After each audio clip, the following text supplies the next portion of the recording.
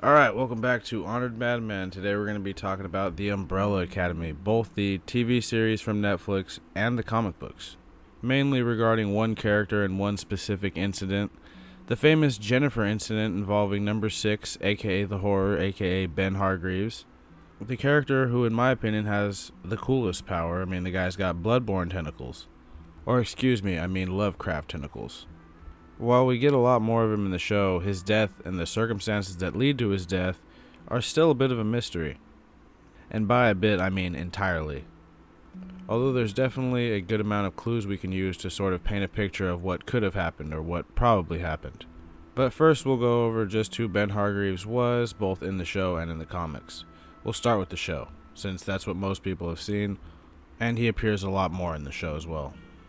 But before I get into all of it, it is worth noting that Gerard Way himself did say that he's not entirely sure on how he's going to write Ben's death or how to even go about writing it.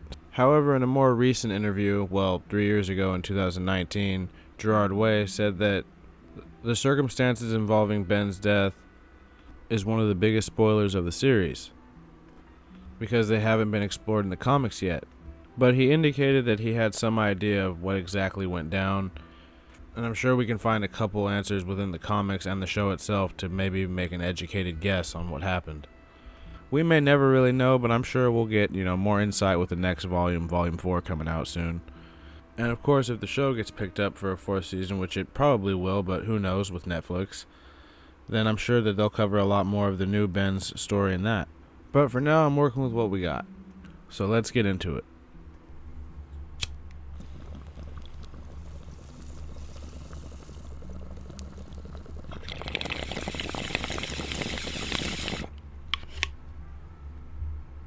One thing I wanted to get out of the way quickly was the post credit scene involving a Ben riding the subway. Many people speculated that this Ben was in fact Umbrella Ben in the restored timeline and that he was alive, meaning that there was two Bens in this new timeline, Sparrow Ben and Umbrella Ben, but the showrunner has come out and said that that is entirely Sparrow Ben at the end. He's just sporting a whole new look.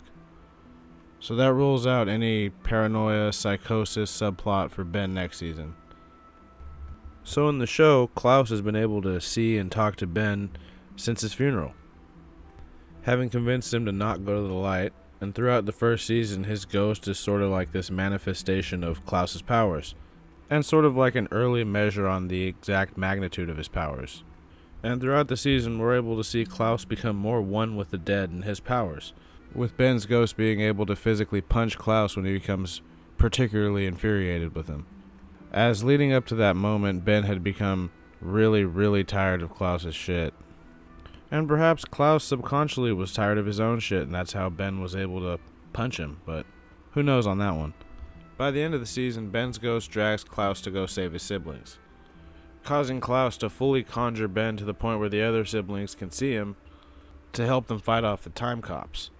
We also learn from an early scene in season 1, that the young Ben seemed to take no joy in using his powers, which were, I guess, objectively the most horrific out of the uh, family. Now, at the beginning of the second season, we see Klaus fully conjure Ben again during the second apocalypse scene that Five stumbles onto, where the whole family is using the full extent of their powers. And at one point in season 2, we also see Ben possess Klaus, so that he can enjoy another day amongst the living. However, Ben dies for real at the end of season 2, using the last of his strength to calm down his world obliterating sibling. And that's really the last of this version of Ben we see. At the end of the season, of course, we see that there's a new alternate Ben that has survived the events of the mysterious Jennifer incident. We didn't know this at the time, but we find that out throughout season 3. Now, he looks a little different in between the end of uh, season 2 and the beginning of season 3, but I think that's for the better. That haircut would not have fit the new Ben's personality at all. Now, there's already been significant divergences from the comic series throughout the Netflix show. For example, in the comic books, the Sparrow Academy is not an alternate universe form of the Umbrella Academy, at least as far as we know. They're just a separate team of the adult versions of seven more of the 43 kids that were born with special abilities. They appear to have been raised by this pink haired dude that comic book version of Vanya meets, but there's no point getting into all that now. But it more or less takes the biggest step away from the source material with Season 3, as it is part Hotel Oblivion and part Sparrow Academy, which is likely how the fourth volume of the comic is going to go down, albeit much differently. It's sort of like how Full Metal Alchemist went off on its own because the manga wasn't finished at the time, and then Brotherhood is basically just following the source material to the T. They're both good. I personally prefer the ending of the original 2003 Full Metal Alchemist as opposed to Brotherhood because Brotherhood's ending kind of just felt a little too uh, cheesy for me. But hey, I'm not hating on anybody who likes it. Anyway, back to the topic at hand. The Ben we see in season 3 managed to become part of this Sparrow Academy mainly because Klaus and the rest of the family did not tell Reginald about Ben's existence and death when they ran into him in the 1960s. So, as far as he knew, his alternate self did not adopt Ben. So, as he saw it, fair game. Now, we know that the original timeline from the show and the Sparrow timeline that it's currently in, or was currently in, are pretty different, but they do share some events, and one of them is this mysterious Jennifer incident which is actually mentioned directly by Luther to the new Sparrow Ben. However, he doesn't really react to it. But it appears some version of this mysterious Jennifer incident did in fact happen in the Sparrow timeline. As we see multiple strange pictures around Ben's room when Viktor is hiding out in there from the rest of the family, and one in particular appears to be of a woman and it's signed Jennifer. Now, this can obviously be taken multiple ways, but the going theory currently is that in this timeline, Ben did not save Jennifer.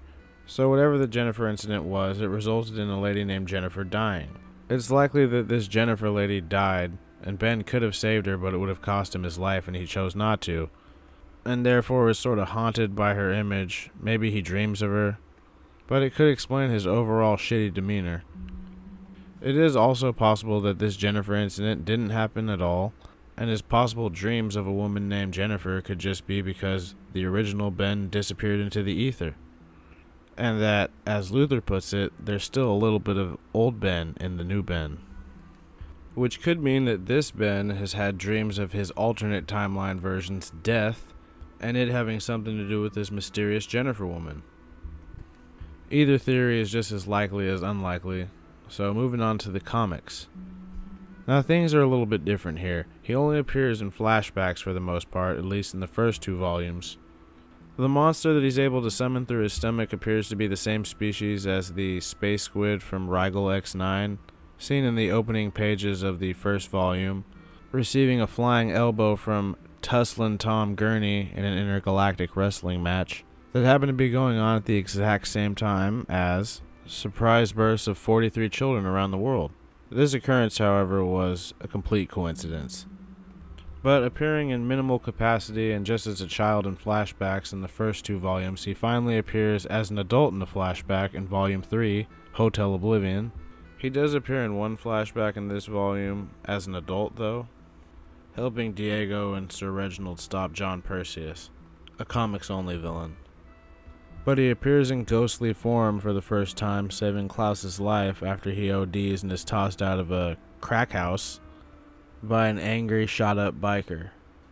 Klaus had been being used by these bikers to run a scam in which people would pay to have him channel their dead relatives. Usually rich ones or ones who had money stashed away somewhere before they died. He would find out where the money or valuables were stashed and then lie to the person about its location. Then the bikers would go and pick it up and provide Klaus with drugs. It's a really great arc in the comics, and I'm probably not doing it a great deal of justice here, so you should read that.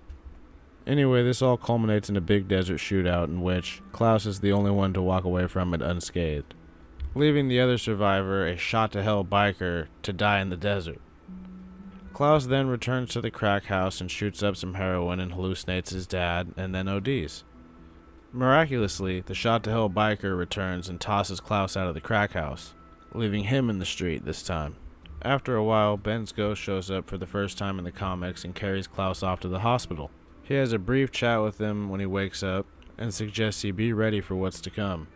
Ben's ghost looks noticeably withered and the and his Lovecraftian space squid appears to be gone, leaving in its place a shriveled, gaping void which is similar to the trolls of Elden Ring. Now, it's possible that in the comics, Ben's death set this interdimensional squid free. And if it has escaped, then maybe it's the thing that Reginald has been using Hotel Oblivion to capture. You see, in the comics, Hotel Oblivion is this sort of interdimensional space prison for all the supervillains that the Umbrella Academy had stopped over the years. They all thought that Reginald had created it to hide the fact that he wasn't infallible. But Luther, Dr. Zoo, and Diego discover that the villains inside the hotel were just bait for an even bigger fish. This giant space squid like blob that touches Luther's head and makes him flash back to being a baby. Now, I'm not saying that and Ben's monster are the same thing, but it's definitely possible. And if that were the case, then did Reginald design Hotel Oblivion to capture Ben's monster? Who knows, but more importantly, the Jennifer incident in the comics seems to have a slightly more clear answer on uh, what exactly happened. So the theory is more or less the same as the show one that Ben died saving a woman named Jennifer. And sure enough, we see a woman, a store clerk to be specific, with the name tag that says Jennifer watching the screen, distracted, even from the customer right in front of her, by the news reporting that some of the Umbrella Academies might not have survived their ship crashing. Now, I can't imagine why this would have been included on a whole slide or a whole page, and it zooming in on Jennifer's name tag without having some connection to this very mysterious Jennifer incident. I think the slide was included to show that Ben did save Jennifer and that he died saving her, but it's all very subtle. But I guess that's the whole point of this video is that it's all speculation. I mean, who knows if that monster out in the after space region of space is Ben's monster escaped and let loose. And who knows if it has some relation to the uh, space squid from Zygle X9. But that's really all I have to say in this video. I mean, I didn't really answer the question on what happened at Ben's death. I just went over some of the clues, and that's really all I wanted to do in this video. I hope it was somewhat informative. I hope you enjoyed it. I hope it wasn't too rambly or off topic or anything like that. Uh, if you liked the video, please give it a like. If you disliked it, you know, dislike it. And if you like my videos or just generally like hearing me talk about random shit, please consider subscribing. That would really help me out. My next video will probably be Elden Ring related. I've got like several on the uh, lineup, but I have another non Elden Ring video coming up soon too. And uh, I guess I'll just see you guys then. Everybody have a good one and uh, see ya. Peace.